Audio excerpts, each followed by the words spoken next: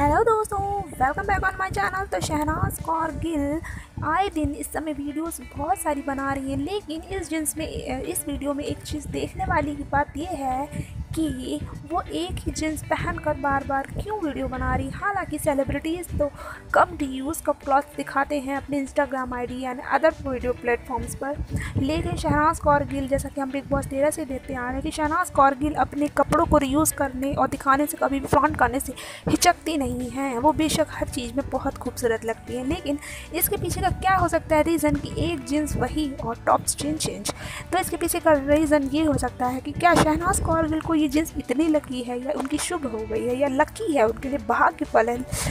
तो